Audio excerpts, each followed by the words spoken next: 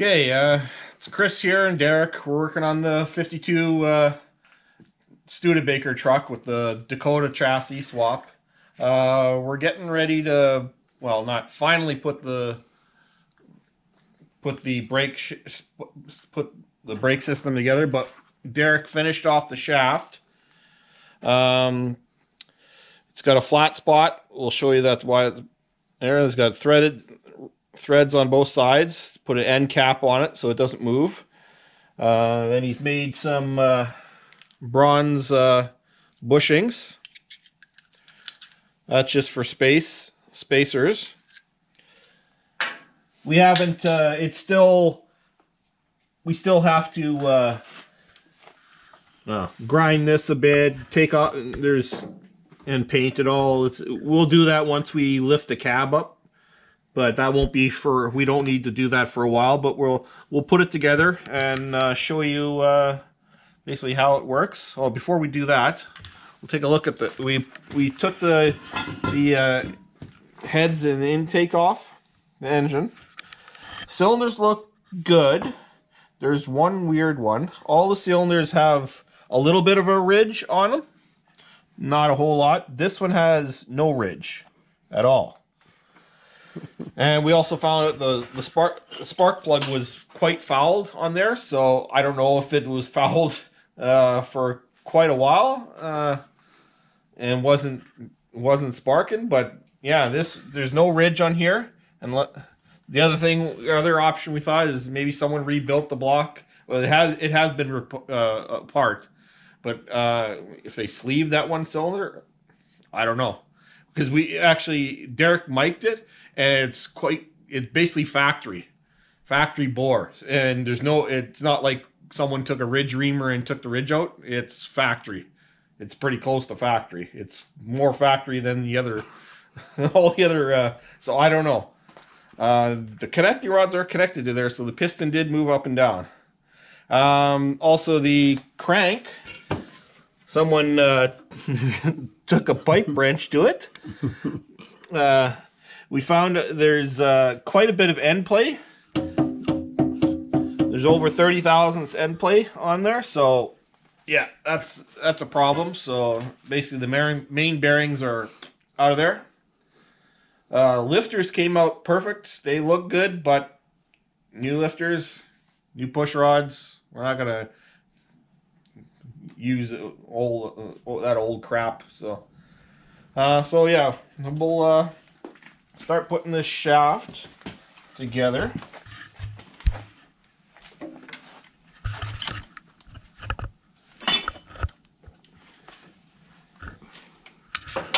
And basically we made it so you can just have to line up this flat spot. We got a set screw here.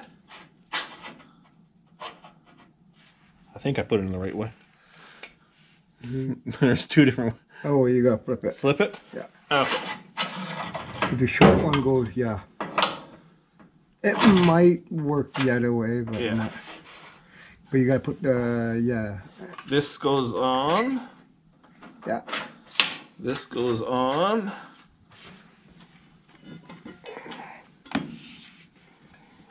Got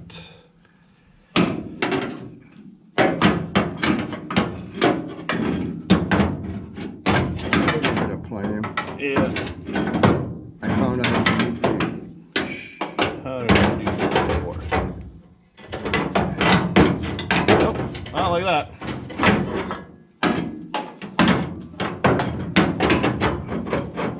There we go.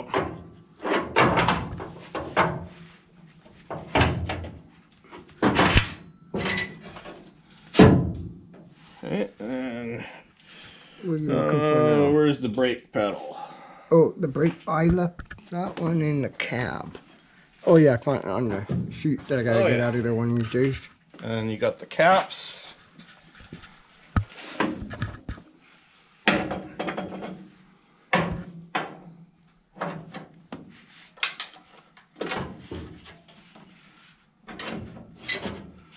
I'm not going to bother hooking up the uh, the clevis pins because it's all going to have to come apart. I, I did that. Oh, okay. I did tap it a bit. Yeah. Okay, uh, you got the caps. Yeah. Here's one. This is this is for the uh that by the driver's door. That one. Okay. Basically, yeah, Derek made a little bronze uh, cap. Basically, it's a thrust plate almost.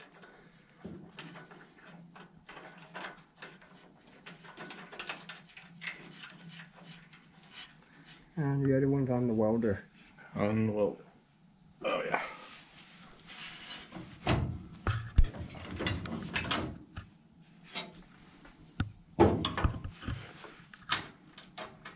Let's see if I can do this blind.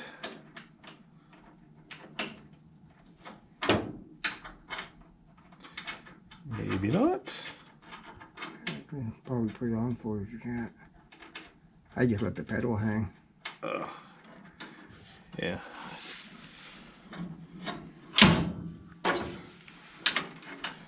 Probably would help if we take off the tire. Oh, probably. There we go. Um, but you get the gist of it. We're not going to tighten anything up yet. We don't. Ah, that's just interfering. There. And if you can get in there with the camera, we did put little grease nipples there and right there so we can uh, gr- grease the shaft. So that's basically what our brakes are going to look like. Our brake system. And we've had the uh, the clevis pins hooked up and everything works good. We have the the holes pretty good. We this has to be filled in, but uh, we cut two holes. I just decided to go uh, little minimal, minimalists on the the axis ports. This one was factory. So I decide "Ah, I'll just make another hole there and one hole there so you can get your fingers in here and there we go.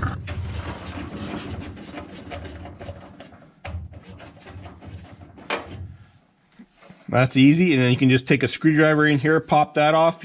That's the the the rear brakes, which is a small portion, only about that much. The re, the fronts are over here. It's got the bigger reservoir. You can get ac- access to that. Oop, I just dropped it. Oh well. And then the factory came up with uh, those on the floor, so I'll just reuse one of these, make a couple more, and that'll uh, complete the uh, the bottom or the brake system. We still haven't. Uh, we're not going to plumb the lines yet. We're still waiting for our uh, brake uh, tool to show up. We had one. It, it was the raw. It came defective, so we had to send it back. So now we have to get another one, but and we're waiting for a couple more brake brake line components. But uh, it's coming together fine. Uh, all that's seem the brake system is gonna seems to work. Um, the next thing we probably I'm gonna do is start working on the floor, getting the once we get the steering column, we're gonna go get a steering column tomorrow. Once we get that, we'll I'll start filling in that area and cleaning up some of the welds and and that and fixing rust on the floor. So that's my next thing to do. And we're gonna be probably pulling the crank out soon and sending that to get ground and start working on motor stuff or getting the parts in basically. And then once all the parts in then we'll basically rebuild it. Uh, bore it out here. Um, we'll get it we'll get the ground crank ground at a at piston ring or somewhere a machine shop but then uh, we'll, we'll bore it here we'll that'll be uh, a video in itself manual or not manually boring but boring boring an engine block at home we've done it uh, well twice now my flathead was bor- bored uh, Was it in this garage? Yeah. Yeah, it was bored in this garage. So, uh, yeah, and it's been uh, running great ever since. So, And I had really crappy lights back then too. yeah, but it uh, worked perfectly. So, uh, yeah, so enough rambling on. Um, we'll get to work and we'll show you some progress.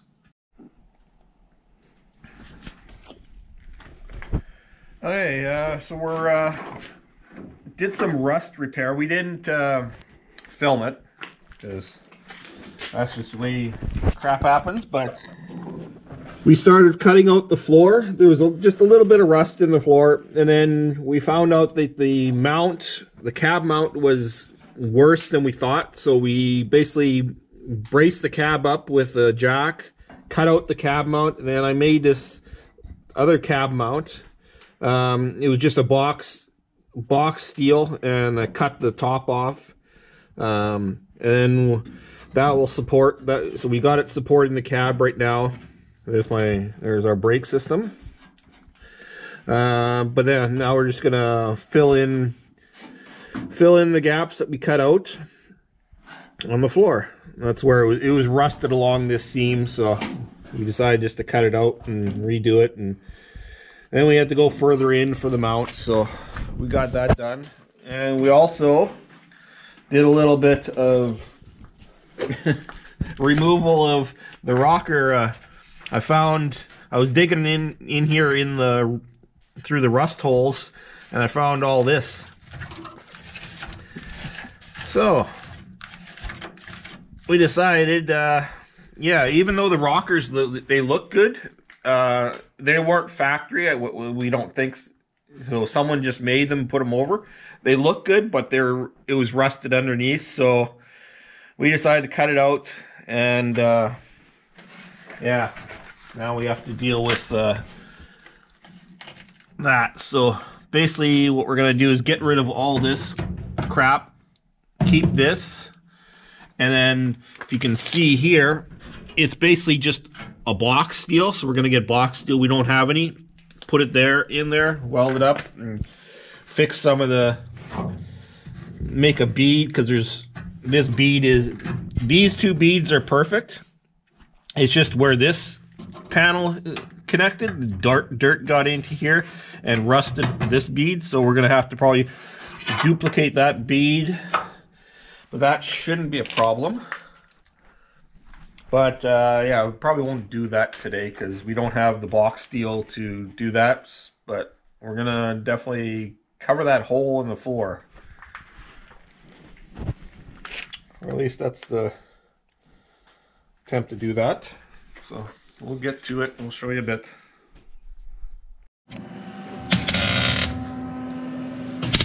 Hey, we just made a little uh, panel there Derek's welding the top part in.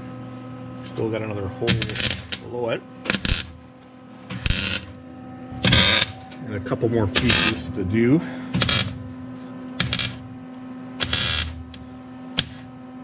Had to make another piece for uh, attaches to the cab mount because the cab mount, the top is curved, as you can see. Well, not curved, but sloped from here, and it there's a flat spot that's uh, the cab mount sits here, and there's a flat spot that goes there and at the bottom. So we just have to make that just to support the floor.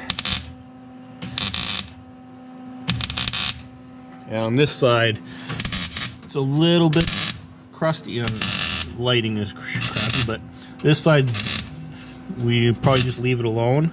The other side, this was all rotten there. Guess they didn't seam seal it from factory and the seam, the spot weld seam got spread out. This is this rocker. It looks fine and dandy, but this is this is just a piece of box sheet metal that they put over.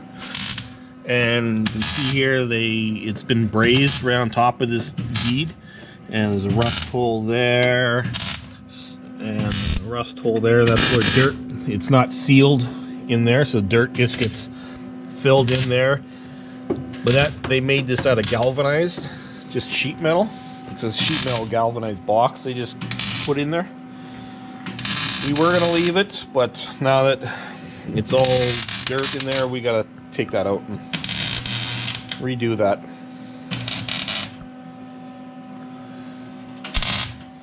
So let Derek continue to spark away and we'll make some more panels.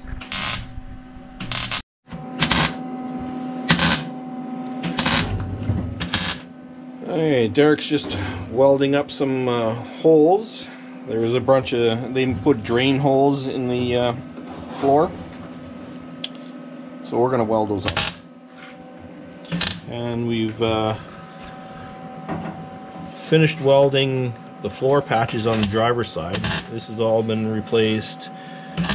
This panel, this is where right underneath or right on top of where the um, cab mounts was that we replaced. So we it was rusted there, so we replaced all that. This seam right here, that it was all rusting and and peeling up, so we cut that out, and it's not ground or anything; it's all rough. Then we started welding in some holes in the firewall and floor. Modified uh, this so one of these plates will fit flush still on ground and we got I made a plate for that. Just have to drill a couple holes. Weld nuts on the bottom of the floor. This plate will just either weld up or seam seal it. And Derek even cut the hole for the uh, shifter. Welded up some holes in there. The floor overall the floor is in pretty good shape for what it is. Yeah, the last truck, Kevin's truck, we did, uh, we replaced all this and some of that because it was, yeah, both sides because it was it was rusted. But this isn't too bad. Curious thing is, yeah, the gas tank, original gas, we don't have the original gas tank. The original gas tank sits here. That's where uh, the line goes out and that's where you, the filler neck goes in, but there is nothing to hold the tank in. There's no bolts, no bolts, no nothing that looks like it had a rubber mount or anything. There's nothing on the floor. These are the cab mount bolts, so that's not it. But no bolts on the out back. It's weird. So if you know uh, how original gas, well, we don't have original gas tank, but we'll we're just going to make the Chevy one do, hopefully do. Hopefully it fits. Okay, uh, we dug out the tank that we uh, thought was going, came from uh, like a 64 Chevy truck that we pulled out. It's definitely not from that truck. It was just obviously sitting in there. Because uh, this is where the uh, float goes. So this is meant to sit that in a truck or in a van. So someone just shoved it in there. Uh, so this is not going to work at all. We can't even use it. even the, uh, the filler neck here is way too high for there. Uh, we don't want to screw with that. Also, it won't fit with the seat. So we also figured out that uh, Studebaker trucks did not have the gas tank behind the seat.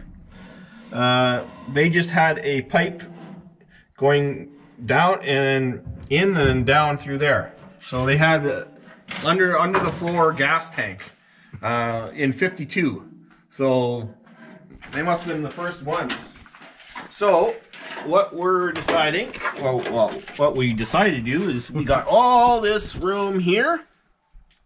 Uh, we're instead of uh, uh, going to the junkyard and trying to measure up one and bring five of them home and maybe one of them is going to fit, especially in the winter we're having. That's not going to happen. So we're going to make one. Uh, obviously not today or tomorrow or the next day, but uh, we're going to make one. It's going to be roughly that shape, except longer. Maybe square, maybe a little round. Who knows? Uh, we have the room. Uh, we've made a gas tank once before and it worked perfectly.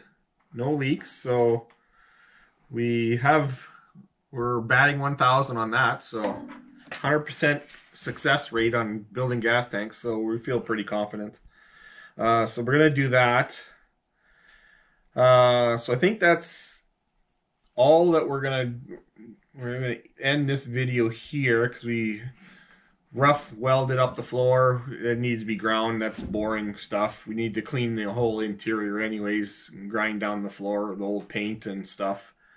We'll leave that for Kevin. He likes to do dirty dirty work like that. So he'll be watching this and you're doing it. And I'd also like to thank uh, all you subscribers. We just uh, hit we just passed nine our 9,000 subscriber mark. So we're we very much appreciate your uh, subscribing and obviously keep telling your friends and your coworkers and people on the streets. Uh, can't hurt. So thanks for watching and we'll get back to this uh, Studebaker shortly with rust repair, painting, grinding, motor work, gas, ga gas tank work, brake plumbing work, all that good stuff fun stuff to watch. So keep watching, and may the force be with you.